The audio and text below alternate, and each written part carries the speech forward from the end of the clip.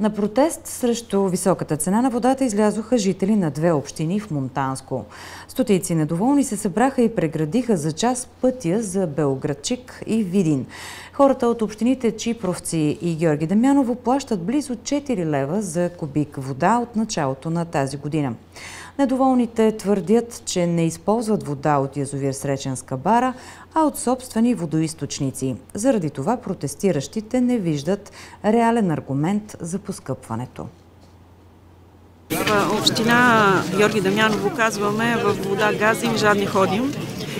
Много от селата при дъждовно време по чешмите им тече вода, която нито е годна за пиене, нито за къпане, нито за пране тази цена, казват социално поносима. Социално поносима, да, но дига се електрич... цената на електричеството, цената на водата, цената на сметосъбиране, цената на всичко. Цената е недопустима за нашия регион. Най-бедните региони, в гранични региони, да да, да налагаш а, силово а, някакви цени, ти утре можеш да си сложиш 10 лева и 20 лева. От 30 стинки при социализма. Sunt três